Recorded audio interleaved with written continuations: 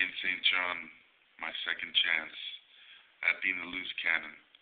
Now, I didn't qualify last time, but I definitely have learned from then.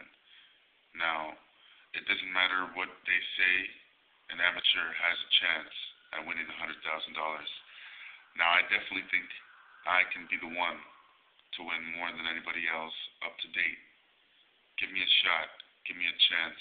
Give me a call. You have my number.